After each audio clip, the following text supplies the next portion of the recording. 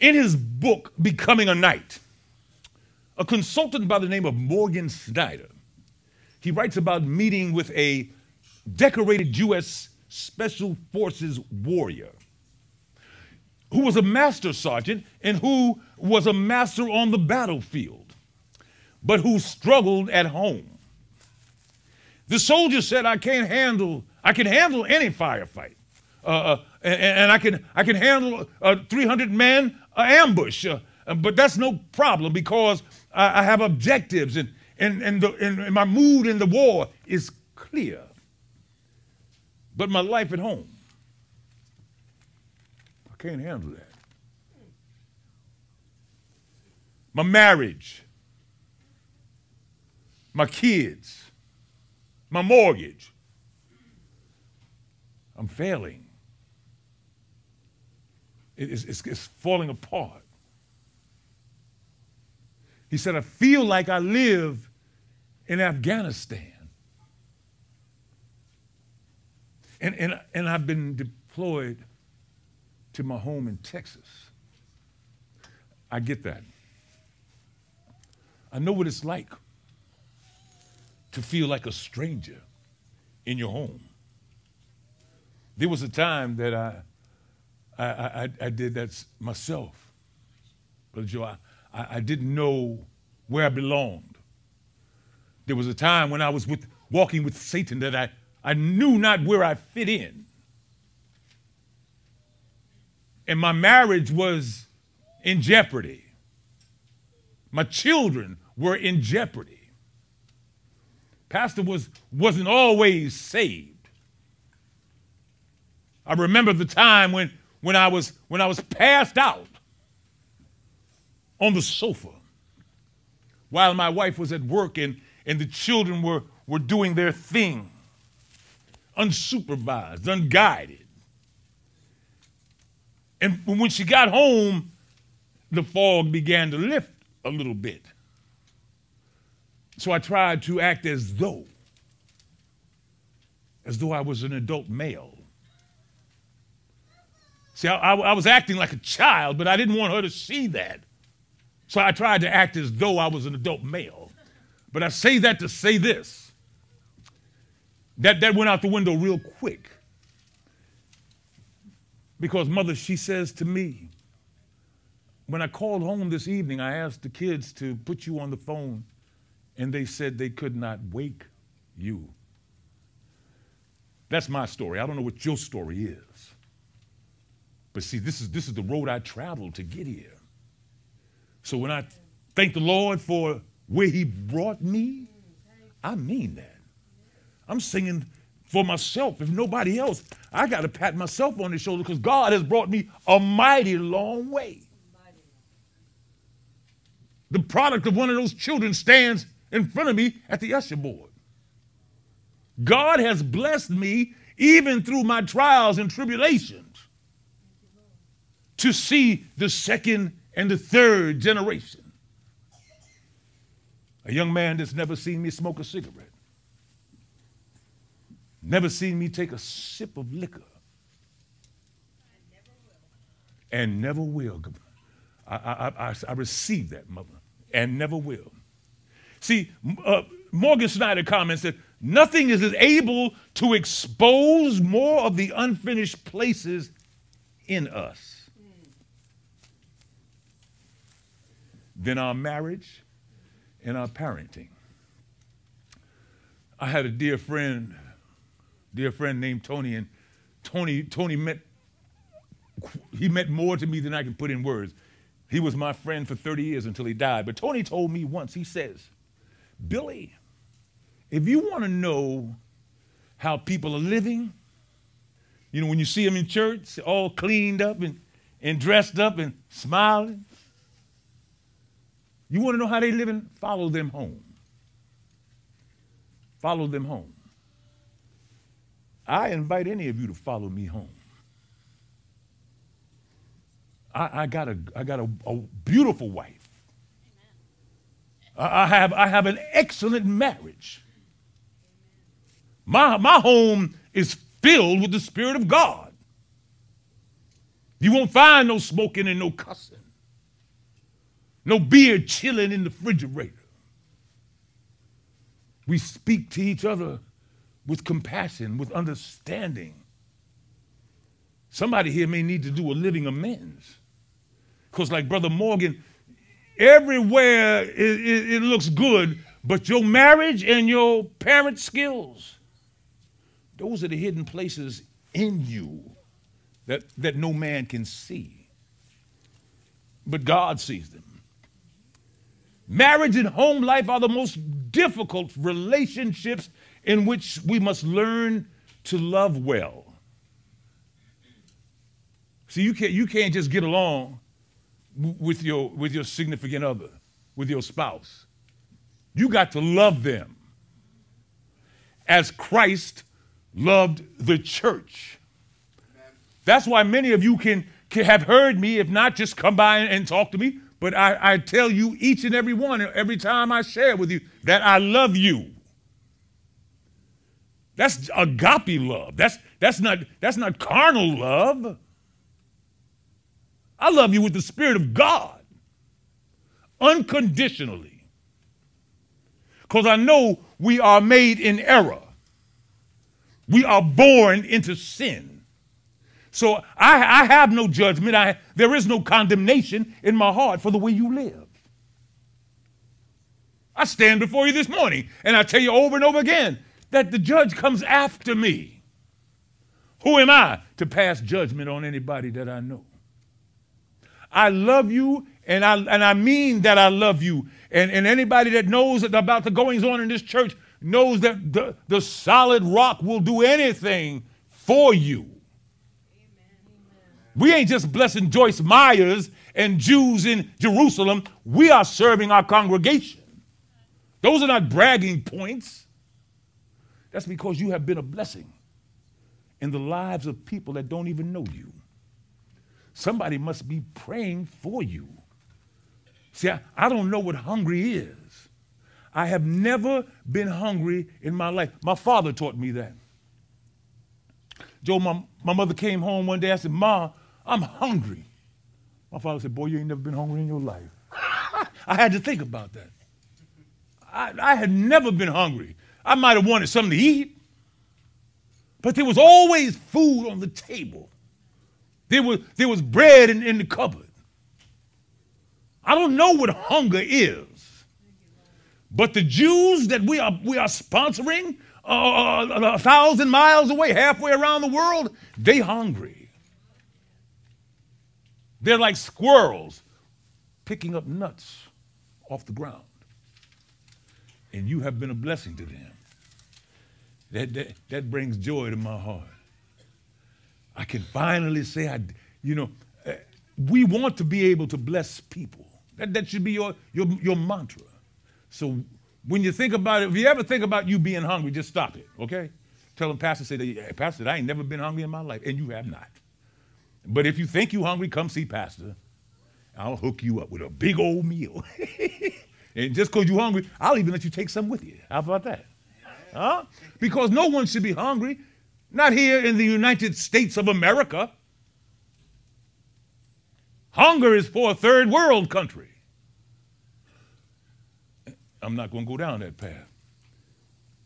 Because we need to love well, well uh, because they are the only place in which there is any possible uh, instances where we can hide our love. I come from a, a, a, a generation of, of men and women that hid their love. Growing up, uh, uh, men and women uh, in, in, the, in, in the, in the uh, generation before me, uh, there were parents and, and, mothers and fathers that slept in separate rooms. They didn't know how to you know, share their love. Um, I, I, I, was, I was talking about that this morning I, in, in Sunday school. You need to come to Sunday school because there's a powerful message being delivered in Sunday school. And I said about a message that I heard in a song that says, In the Living Days. The song says, in the living days, and, and, and, and my father, I wish, I wish I could have said that to my father, in the living days, and my father's gone to glory. I'm on my way, church. I got to tell my father some things. Daddy, you, you missed some things. And so many things I want to talk to my daddy about. Not just my daddy, I got a son over there. I got a son. Gone to glory. And if I can just hug him one more time, I'll hug him for eternity. Don't make me no different. I love that boy. I love that boy. And he going to glory. So Dewan, if you're watching this morning, daddy love you, son. Daddy loves you. And would give everything to, to, to sit with you toe to toe one more time. Some of you know my wife, Pastor Joyce, and I have just returned from what I think was, at, at, at least for myself, uh, was my first vacation in every sense of the word. now, don't get me wrong, um, family reunions, and, and family reunions, and um, a trip to the Holy Land, um, those were special. Those were very special. I don't take anything from that. In fact, they are wonderful. But I, I wouldn't want to say that that was a trip that I could just relax. Uh, what I say is, I could truly say that this last couple of weeks, uh, days that ended into another week, it was truly a vacation for me. One of those times where I was completely uh, shut off from the outside. No phone service and no television, um, very little computer. When you could get it, standing out there in the fields. Just me and God. Just me and God. Don't get me wrong, there was plenty of good fellowship. We had a wonderful hostess and her family. And some of you even know Melissa. Melissa, you're joining us this morning. God bless you. Uh, uh, and, and many of you may have heard Melissa's story. I'm not going to tell her story because it's too wonderful for me to tell. She, she's got to tell it herself because when you tell it, Melissa, um, people know that there's a God in heaven. But the ladies enjoyed themselves and they fellowshipped and they gathered together. But I had the opportunity to fellowship with my Heavenly Father. And let me tell you something, church. When you are surrounded by 40 acres, uh, it's easy to see God everywhere. Amen. Amen? 40 acres. The first thing I had to do when I got there was to look around.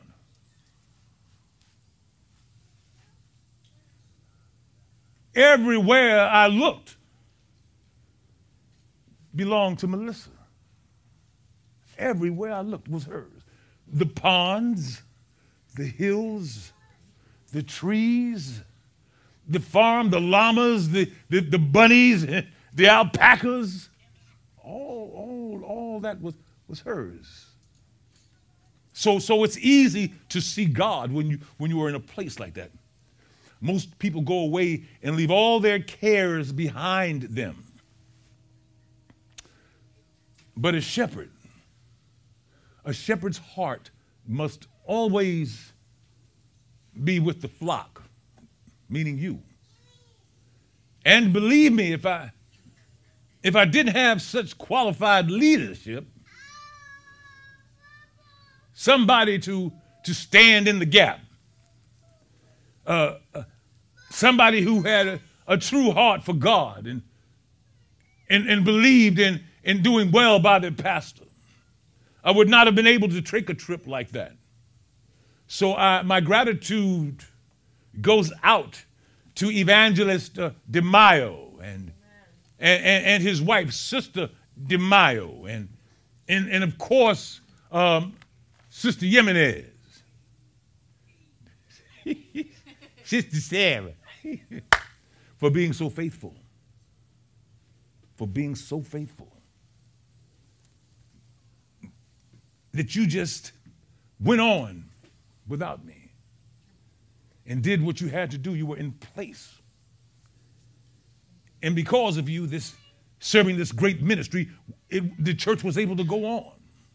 We didn't have to lock the doors. If we, if we didn't lock them for COVID, I don't see no reason why we need to lock them because pastor went away. So we have people that will stand in the gap. No one could do these things lest God be with them. Our Father in heaven took me to so many places in the Spirit that I understood more clearly what, what Brother John, the Revelator, I understood what John, what he meant when he wrote it in Revelation 21 and 10. He said, and he carried me away in the Spirit to a high mountain. And he showed me the great city, that holy Jerusalem, coming down from heaven. I had an encounter with God. That's what he did for me. He, he carried me away. So when John writes in the Revelation, I know just what happened. When you get caught up in the spirit, God moves and even your surroundings disappear. You see visions. I, I saw visions. And, and, and that's, that's how God operates. Can I get a witness? Amen. It was then that I know that this was not going to be just a few days off. Amen. So much was revealed that I wanted to bring back and share with you. So much. But the Lord literally had to remind me that I didn't have to preach the whole Bible in one Sunday. Take your time, preacher. There's, there's a lot of word to chew on.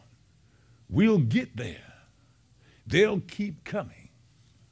And, and that means that you just have to keep on coming back because the word that I have for you will roll over into next week and, and into the week after. You want to hear what the Father shared with me for you. It wasn't me being selfish. God said, you, you spending time with me, I'm, I brought you to this place. I've shown you what no one else has ever seen. Only you have seen this, and I want you to take this vision back to the solid rock and let the people know that they serve a mighty God who is able to do all things but fail. So you just keep on coming to this little old church sit alongside the road. One of the many things Jesus and, and I talked about was my role as your pastor and the direction that he is taking this church, this congregation. And I must never forget that you are God's people. You are not my people. Never let anyone say that he think that you his people. You are not my people. You are the congregation that I serve. I serve you. You are God's people. All of us here are called to lead. Not everyone is a leader in the church, uh, but you have families that you should be leading. There are people in your job uh, that should be following your lead, your understanding. Uh, so you and I must be willing to lead from the front.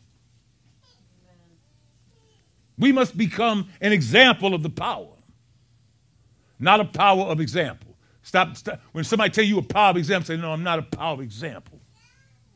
I'm an example of the power. The God I serve lives in me. That's how I serve him. Beloved, the Father said that if anyone in this congregation chooses not to lead, wants to take a seat in the family, on the job, that's fine. That's okay. But here's what God has for you this morning. If you don't want to lead, then please just sit down. Because God said, I'll raise up another. Amen. God don't need you. You need God. So if you, if you don't feel like leading, then, then it's okay. It's okay. Everybody can, because heavy is the head that wears the crown. So if you can't handle it, go sit down. God said he will, he told me to tell you, I'll raise up another. And, and they will walk in your blessing. I got people in this congregation right now this morning. I ain't gonna call nobody's name, but they are walking in the blessing of another man. in this church. You don't want to do it, just, just step aside. God will, will bring somebody else. God is too wise to make a mistake. And he had a plan for your life when he knitted you together in your mother's womb. What do you think all that was about? You were just born. This was just intercourse. This was just a sexual healing. God made you. And if God said it, that settles it. You don't have a choice. You got a choice, but you need to follow God. You think you were born just happenstance? With your own individual fingerprints, with your own individual mindset, with your own individual eyes. God, God did that. You are just stewards over those children. Those are not your children. Them God's children. How dare you you destroy what God has put in, into place? Now that's not condemnation. Many mothers have had to do that. Many, many mothers before they came to the Lord didn't understand the meaning of, of life. But that child that God has placed in your body is just as alive as the sound of the ones I hear this morning. What God has knitted together, let no man set asunder. God did it, and that settles it. That, that settles it for me. You know, huh? Uh, kind of quiet. Let the church say amen. amen. Huh? Amen. This is not a lecture. This is, this is the truth. This is the gospel. And the gospel is the good news. Amen. Receive it with love. Ain't nobody coming here to be condemned. When you leave out of here, you should be informed and enlightened and walking in the Spirit of God, in, in, in, in, in the Spirit of the sunshine, in the light of, in the light of the kingdom. You should, you should be coming. This, that's the mission field. Here you get your glimpse of the promised land. And you have given the opportunity as you sit to prepare your, to prepare your message. You heard it here. You heard it there. You know what God said this morning. I ain't gonna go there, but it just brings me back to today's message. The battle is not yours. Pastor Jay read today's text from the King James Version of the Bible, and, and, if many of you, like me, um, I have several translations out before me when I'm studying, and I, I spread those Bibles around me. I know Evangelist has several uh, uh, uh um, translations, and, and, when I study, I, I, I seek those translations, but among them always is the King James. I, always, that's my go to, is the King James. But I, I, read other translations which sometimes give me a clearer, a clearer understanding. That's all, that's all. It's just a matter of the translation. Beloved, make no mistake, King James is forever the Bible that you should go to. Every translation that you get, let me tell you, it's, it's like back in the day, we used to have tape recorders. Um, and, and, and once you make the original recording, every recording you make after that become it loses its, it's a, it loses something in that translation. It, it's not as clear. It's, it doesn't sound as fresh as the first translation sounded. It's, it's just like the sitting in church this morning. Some of you are hearing one thing, and some of you hearing Satan. Some, some, some folks don't even care what they had. Satan walk right in and speak in your ear. That happens all the time. That don't amaze me. I'm a preacher. People don't live, they, they don't care about that outside. You here because you want to understand what doth saith the Lord. I'm here because I had the experience. I was on the mountaintop and I saw you and he showed me where we going. That's why I, I can speak those things into the lives of the people I serve. Amen. Amen. Amen. So, so when we read the Bible, we should be seeking understanding. There, there are several translations. I, I use the message, I use the NIV. And for that, that verse that uh, Pastor uh, Jay spoke this morning in, in Proverbs, fourth chapter, and verses 1 to 4, I want to read that for you from the um, NIV, the New International Version, because of the translation. Um, it, it reads like this Beautiful, beautiful. Listen, my son, to a father's instruction. Pay attention and gain understanding. I give you sound learning. So do not forsake my teaching. For I too was a son to my father, still tender and cherished by my mother. Then he taught me, and he said to me, Take hold of my words with all your heart. Keep my commands, and you will live. Amen. That, that's the same verses in a different translation. So, out of over the 3,000 proverbs that, that um, Solomon thought about, 513 of them are written in this book. That's a whole lot of thinking, quite a bit of meditating. The word proverbs means to be like. Thus, this is a book of comparisons between common concrete images and life's most profound truths.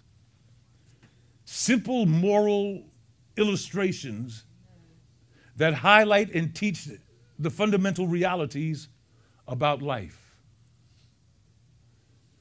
In Second Chronicles, in the first chapter, verses 7 through 12, Second Chronicles in the first chapter, verses 7 through 12.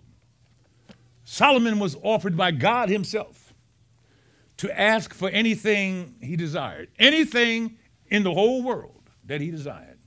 And what he asked for so pleased God that the creator of the universe, the Alpha, and the Omega, threw in every other gift just to make weight Look at me, if you will, as if you have it in your, in your Bible, Second Chronicles, first chapter, verses 7 through 12. In that night, God did appear unto Solomon and said unto him, Ask what I shall give you. This is God. And Solomon said unto God, Thou hast showed great mercy unto David, my father this young man had been sitting at the feet of David in Bathsheba. See, that's true. His father, I, can you imagine your father telling you how he killed a giant? Took a rock to a sword fight? This, this is David's old man.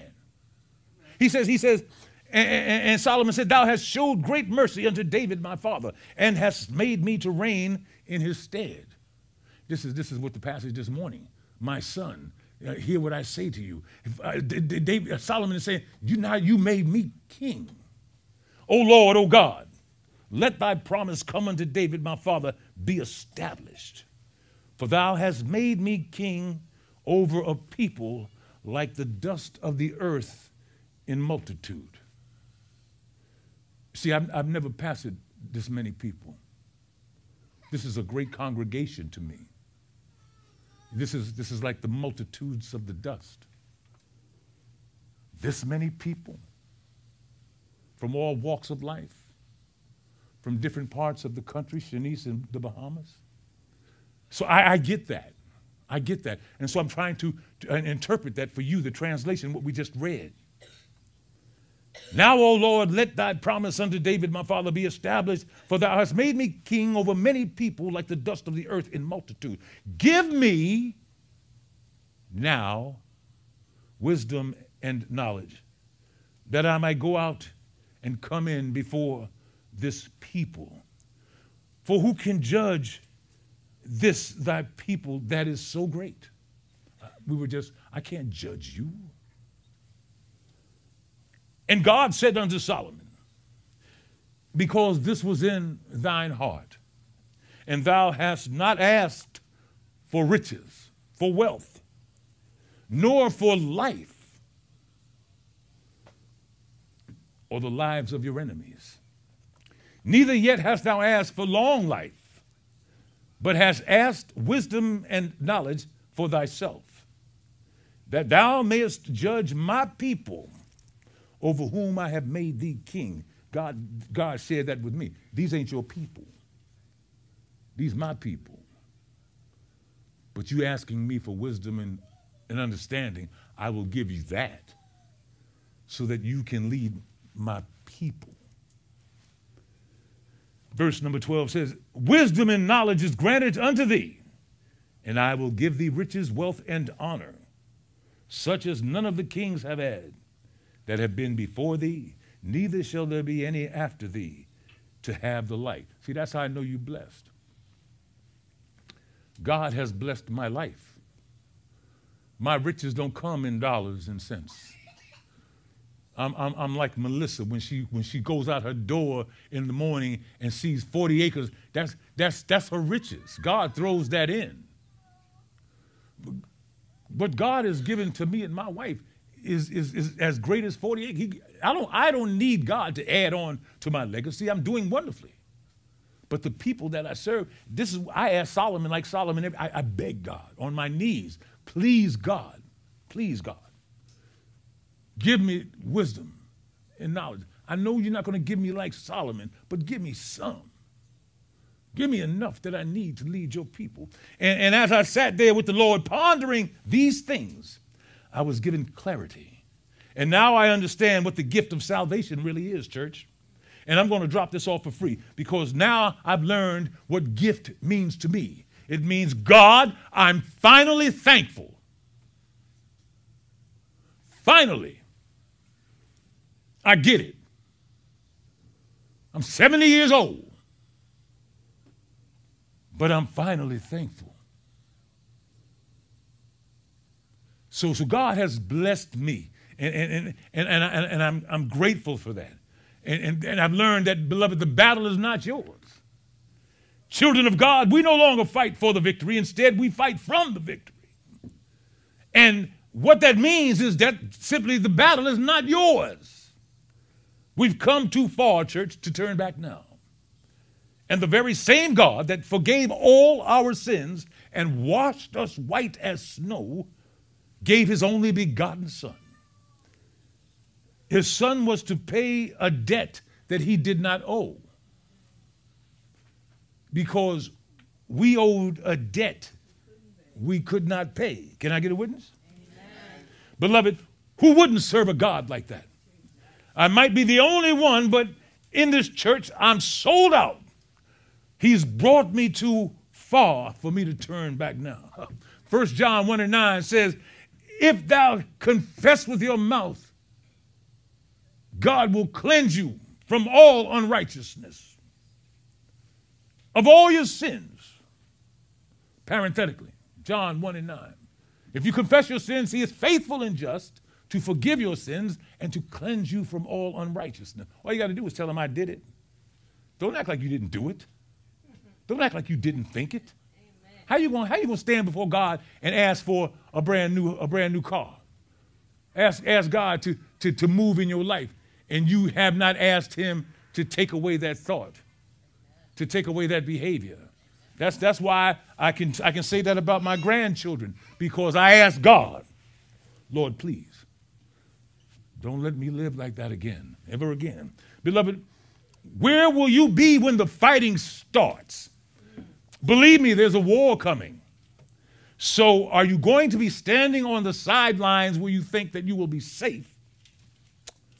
Or will you join the angels and jump into the battle? Beloved, how many times must I tell you before you believe with every fiber of your being that we fight not for victory, but we fight from victory? Amen. Amen. Amen. Can I get a witness?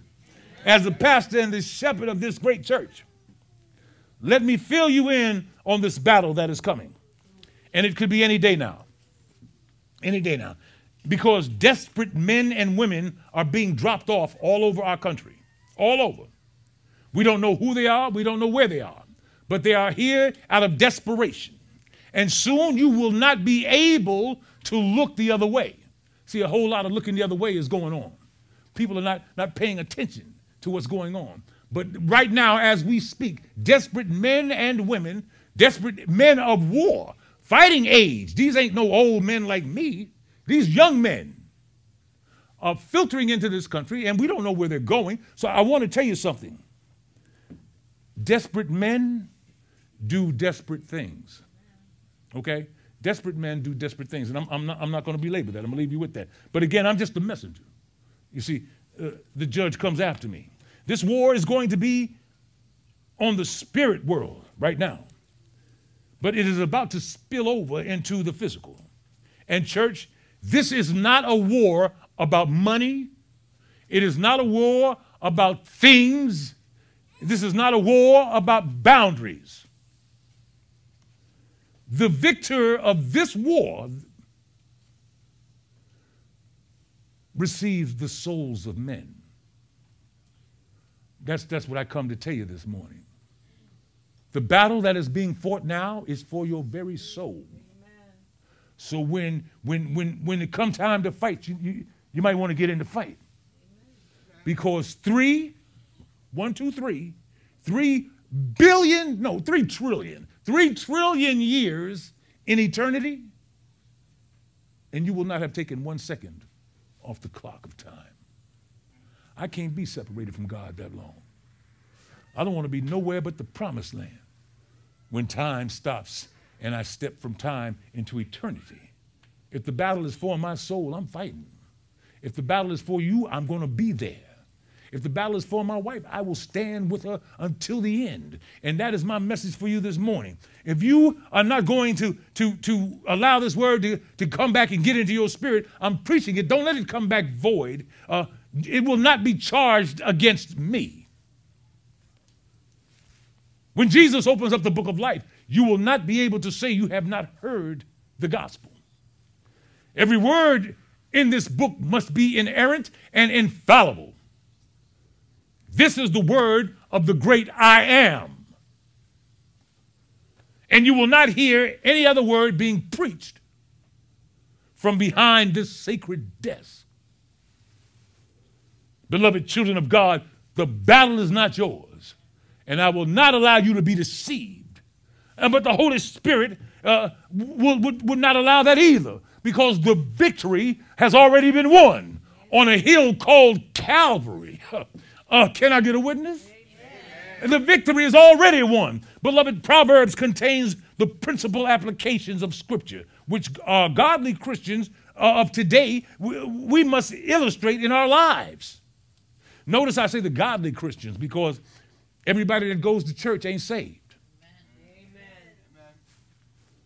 But everybody that's saved goes to church.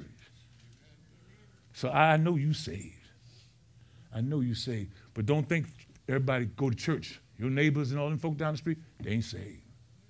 They're not saved. Some folks go to church, sitting in church, thinking about baseball, thinking about, thinking about later on.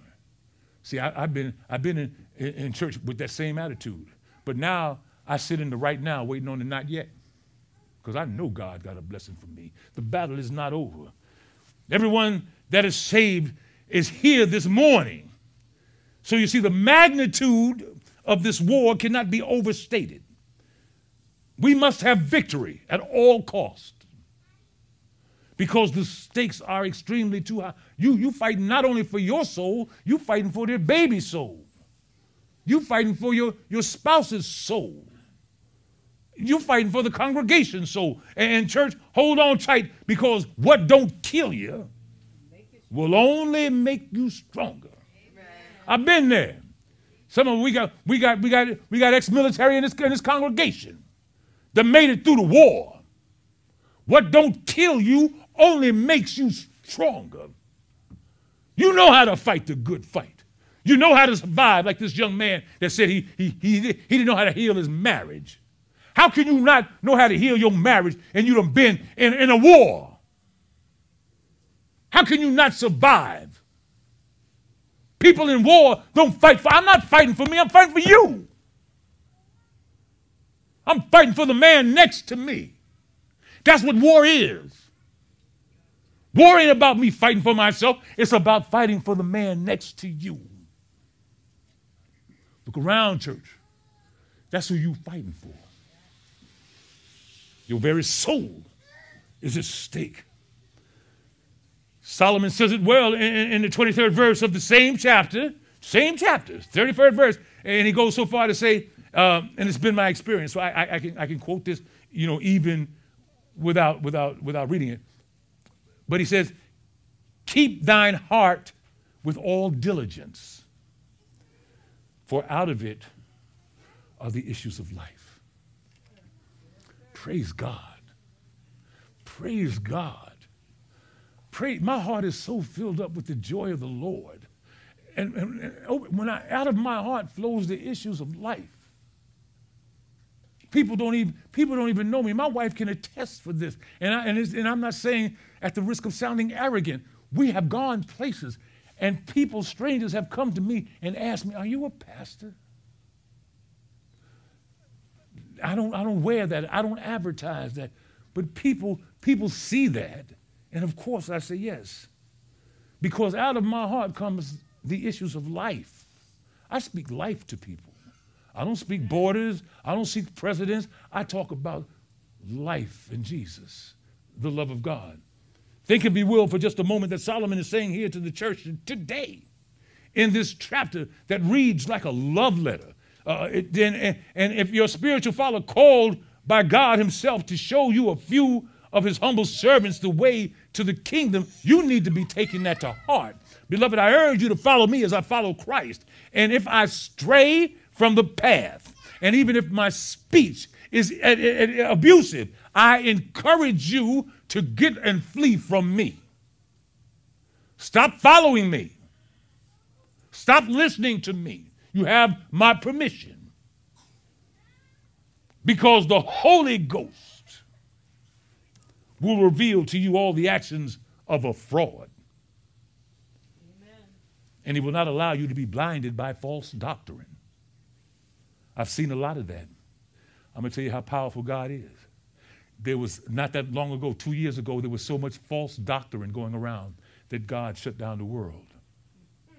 Amen. Shut it down. Shut down the churches. Shut down the entire planet. The impli- everywhere on the planet shut down. God, God, God willed it, just moved his hand. So when Jesus speaks to the wind and, and said, Peace be still, God said, I'm shutting it down. They're lying to my people. They telling them some, pro- what is a prosperity message? I can see him talking to the Son and the Holy Spirit. What is this prosperity message? I, I can see the Holy Spirit. I don't know. He said, we need to shut it down. And in 2020, every church in the world except this one, and, and I know there were one or two others, but except this, I'm thinking about my flock. Every church in the world except this one, Brother Guy, was open. You were there. We never closed our doors and the Spirit of God dwelled among us. We were blessed by the, by the angel of mercy. He passed over. Death was on every side. Death was on, people were dropping in the street. They were carrying by, they couldn't even bury them. They were just stacking them up. And we did not have one incident of COVID 19. You ain't got to say amen. amen. Amen. Because I didn't, I didn't get it. I know what God did for me. That wasn't no small thing. No, no, God, God was, was, was, was able to do for me. So I'm telling you now, you want to get into the battle, we will be there. My wife and I, we will be there. And if you're going to fight everybody in this congregation, call themselves members of the solid rock, I know that they will be there as well. Amen. Don't think you got to fight this fight alone.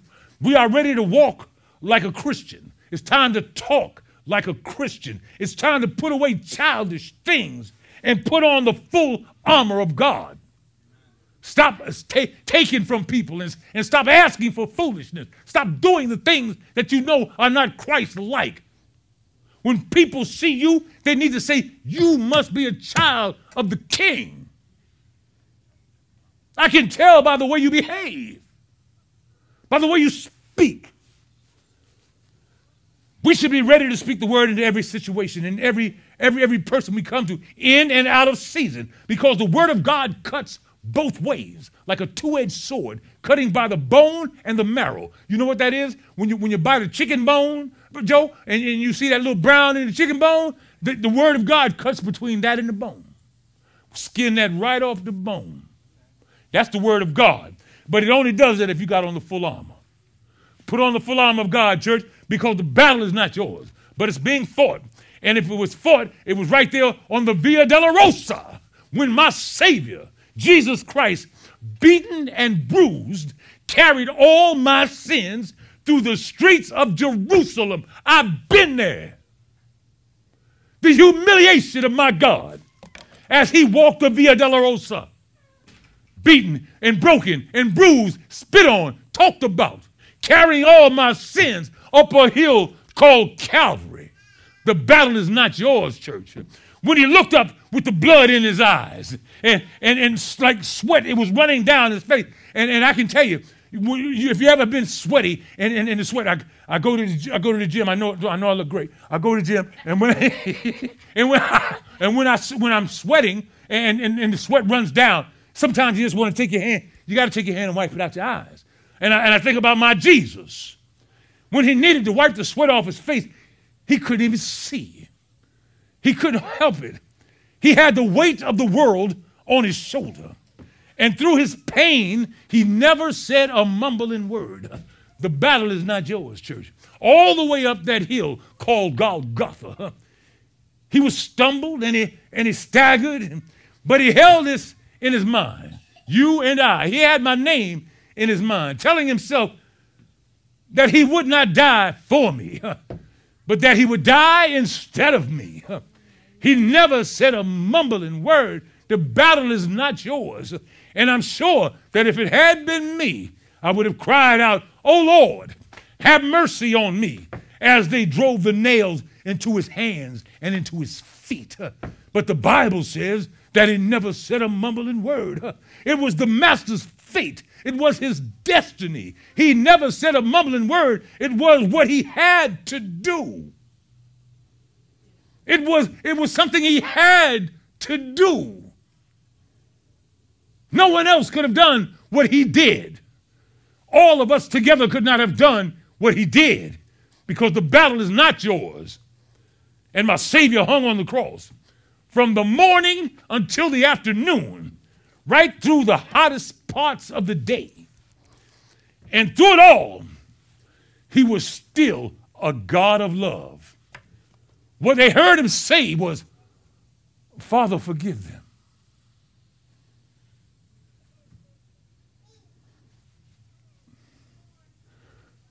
for they know not what they do.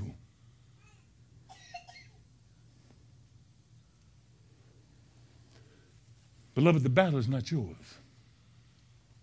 And as he hung there into his final hours, when he just had to say something, when it was finally over, and he had done what no other man or woman could do, with his dying breath in Matthew 27 and 46, he said, In the ninth hour, Jesus was heard with a loud voice crying out, Eli, Eli, Lama Sabachthani. That means, oh God, oh God, why have you forsaken me? My Jesus, my Savior. He died instead of me. It was supposed to be me on that cross.